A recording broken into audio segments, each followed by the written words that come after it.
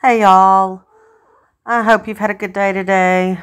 So, I just shake my head at everything that's going on in the world today. I just can't believe it. I really can't.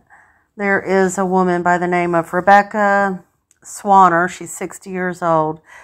She is the owner and ran a daycare center out of her home. She was licensed. Well, back in March, there were three children around the age of one that ended up getting rushed to the hospital. The parents said that they were drowsy, they were uncoordinated, their eyes were red and glassy, and the police went to investigate and they collected uh, goldfish crackers that was in the high chairs where the children were having their snacks.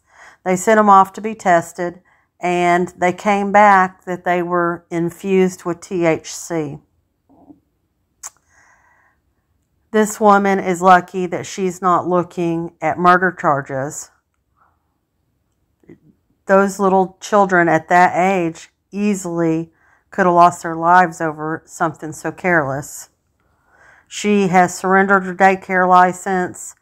She turned herself in April 14th and she's out on a $2,000 bond.